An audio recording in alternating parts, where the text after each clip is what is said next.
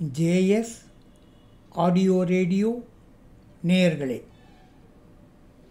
எதை செய்யலாம் எதை செய்யக்கூடாது என்பதை வள்ளலார் பட்டியலிட்டு கூறுகிறார்.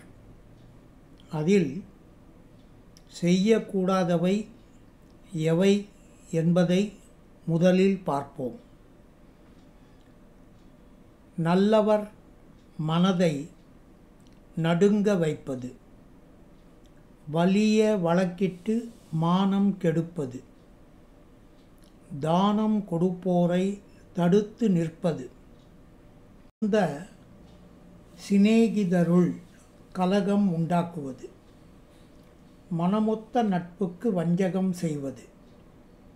குடிமக்களிடம் வரி உயர்த்தி கொள்ளையடிப்பது. ஏழைகள் வயிறு எரியச் செய்வது. தர்மம் பாராது தண்டிப்பது. ஒரு தலை சார்பாக வழக்குரைப்பது உயிர்கொலை செய்பவர்க்கு உபகாரம் செய்வது. களவு செய்பவர்க்கு உளவுகள் சொல்வது. பொருளை இச்சித்து பொய் சொல்வது. ஆசை காட்டி மோசம் செய்வது. போக்கு வரவு கூடிய வழியை அடைப்பது வேலை வாங்கிக் கொண்டு குறைப்பது பசித்தோர் முகத்தை பாராமல் இருப்பது இறப்பவர்க்கு பிச்சை இல்லை என்பது கோள் சொல்லி குடும்பத்தை குலைப்பது நட்டாற்றில் கை நழுவுவது கலங்கி ஒளிந்தவரை காட்டிக் கொடுப்பது. கற்பிழந்தவளோடு கலந்துரைவது. காவல் கொண்ட கன்னியை கற்பழிப்பது. கணவன் வழி நிற்பவளை கற்பழிப்பது. கருவை கலைப்பது. குரு குருவை வணங்க கூசி நிற்பது. குருவின் காணிக்கை கொடுக்க மறுப்பது. கற்றவர் தம்மிடம் கடுகடுப்போது நடப்பது. பட்சியை கூண்டில் பதைக்க அடைப்பது கன்றுக்கு பாலூட்டாமல் கட்டி அடைப்பது ஊன் சுமை மாமிசம் உண்டு உடல் வளர்ப்பது கல்லும் நெல்லும் கலந்து விற்பது அன்புடையவர்க்கு துன்பம் செய்வது குடிக்கின்ற நீருள்ள குளத்தை தூர்ப்பது.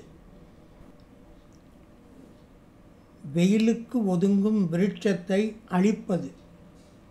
பகை கொண்டு அயலவர் பயிர் அழிப்பது.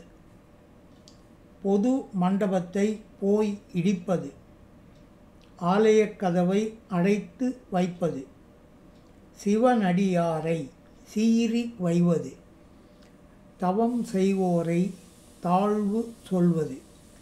சுத்த ஞானிகளை தூஷணம் செய்வது. தந்தை தாய் மொழிகளை அறிவுரைகளை தள்ளி நடப்பது. தெய்வத்தை இகழ்ந்து செருக்கு அடைவது. வள்ளலார் உற்ற தினம் அக்டோபர் ஐந்து ஆயிரத்தி எண்ணூற்றி இருபத்தி மூன்று. இதனை வாசகர்கள் நினைவில் கொண்டு இந்த நாற்பத்தி ரெண்டு வாசகங்களை நினைத்து அதன்படி நடந்தால் ஆயுள் முழுவதும் அமோகமாக வாழ்வார்.